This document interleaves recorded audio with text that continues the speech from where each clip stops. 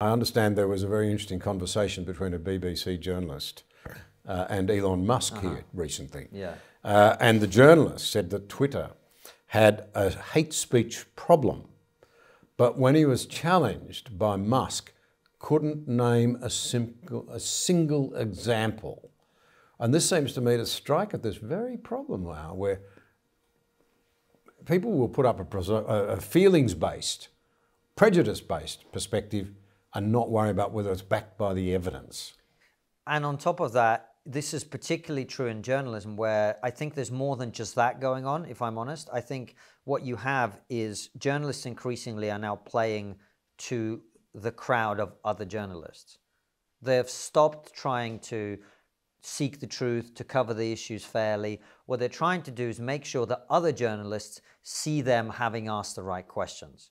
Uh, and so if you're interviewing Elon Musk and you are the tech editor at the BBC, you have to be seen to challenge him because in the BBC's conception, Elon Musk is this evil right-wing billionaire who's ruined Twitter. Uh, and so you have to ask that question. Um, and the other thing is, it shows you how terrible they have become at their jobs. How do you know the, the worst thing about that interview isn't even what you've just raised. What happened was the guy ran out of questions ran out of questions. How do you run out of questions when you interview interviewing the guy who says that he wants to preserve humanity by extending it over several planets?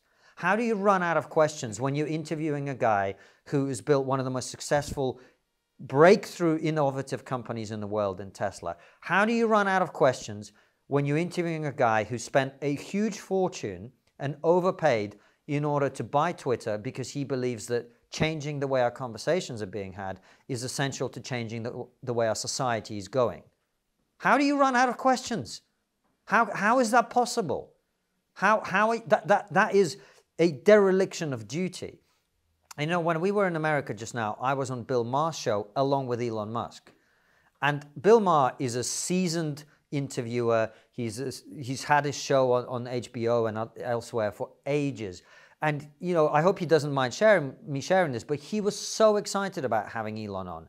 And he had Elon on for about 20, 25 minutes, something like that. And he was like a kid in a candy shop, as they'd say in America. How do you run out of questions? How?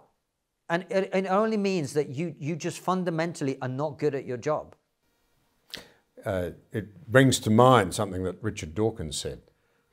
He was distressed, expressed dismay at the lack of curiosity amongst young people and made the comment that it's only these pesky Christians amongst young people that seem to have any great interest in exploring ideas. Hmm.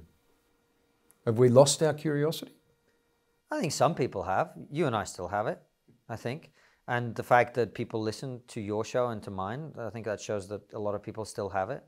Um, you know, look, no one can measure any of these things, really. You know, no. I, I could sit here and make a very strong argument for how our society has lost its curiosity. I can sit here and make a very good argument for why it hasn't. It's it's the glass half full, half empty thing. I think for me, and we, we talked about it over lunch actually, you know, we were talking about whether we can win this, if you like, whatever this is or not. And you said to me, and I thought about it, and I was like, I don't know. What I do know is what my purpose is and what my mission is. Um, as long as there are people who are curious, I'm going to try and feed them. Uh, and if, if, and if, if other people see that and get drawn into it, fantastic. Uh, that, that's all really we can do.